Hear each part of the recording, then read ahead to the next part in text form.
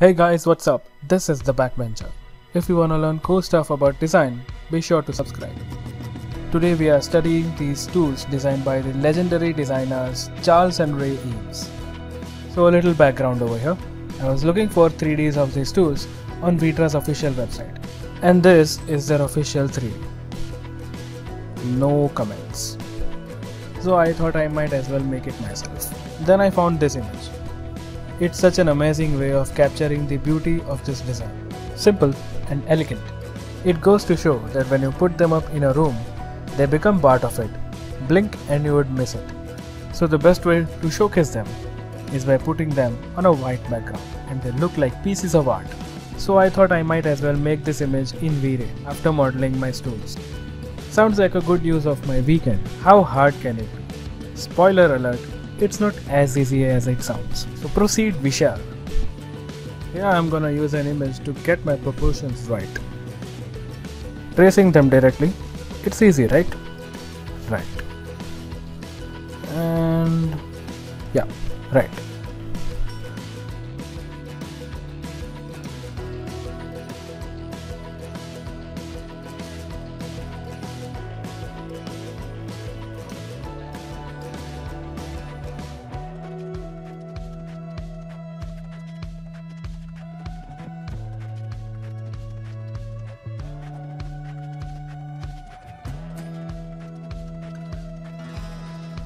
Now this drawing is missing one detail which is the concave depression on the top. Once these profiles are right, the model is almost done. Use follow me on this circular path for the profile. Now that my basic geometry is ready, I'm gonna add some subtle details. Little nuances if you will. But first, it's time to see how they look on a test render. So, here I am giving some basic material and I am making the background white.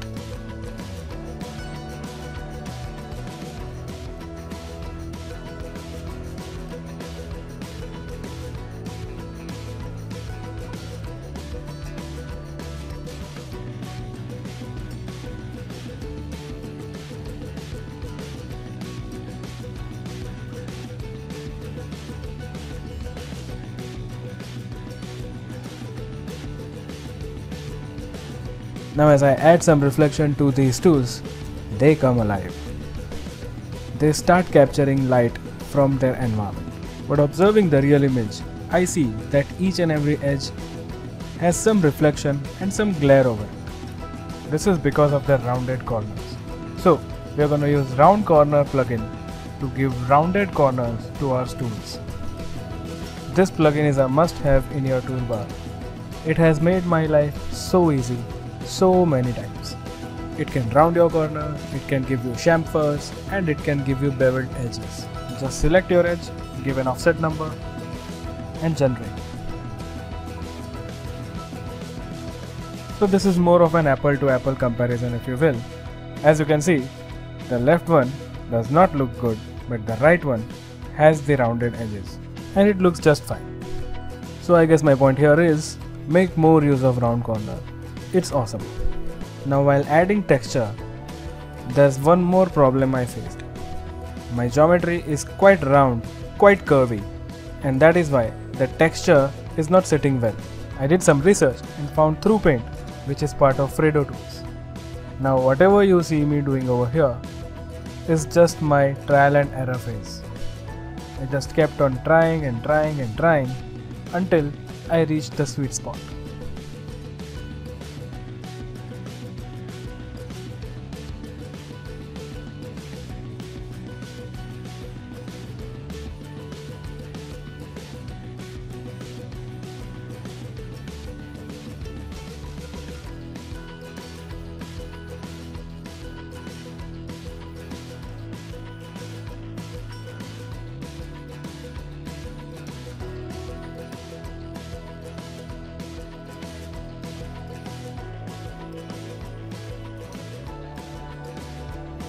So after quite some attempts, I get all of them right. Henceforth, it's all going to be about V-Ray. The model part is done. Now in this image, we see two glares. This means two light sources. To get a diffused feel, these photographers mostly use rectangular lights. So I'm using rectangular lights for V-Ray and putting them up on a distance to get an evenly lit scene.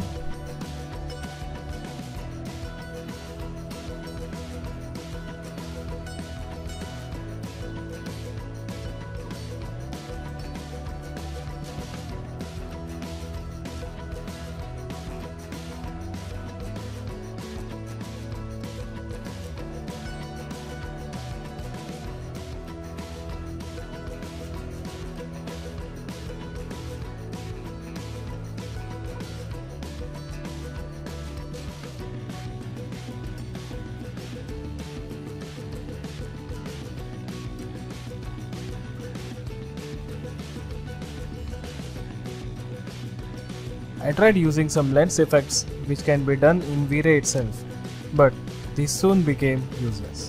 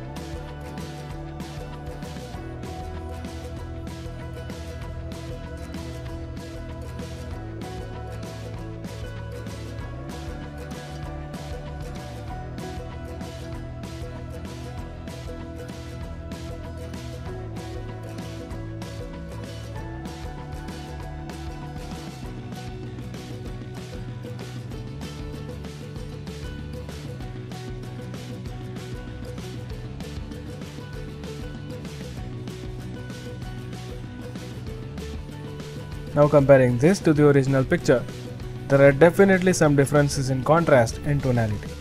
So these Photoshop like tools in V-Ray come quite handy.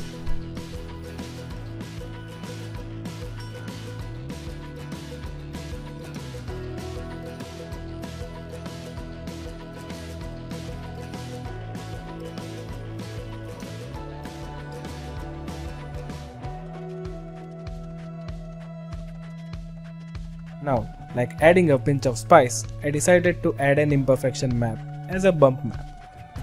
So, the wood gets some realistic wear and tear over it.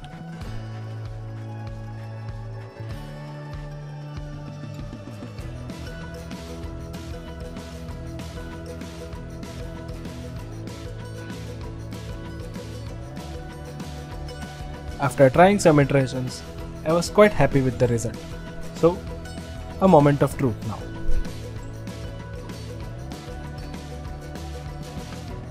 So, as you can see here, this result doesn't disappoint. And it also stands the scrutiny of direct comparison. The plugins used in this model and the texture are linked in the description. Be sure to check those out. If you have any queries or if you have any suggestions, be sure to comment below and subscribe if you wanna see more. This is the Backbencher, signing off.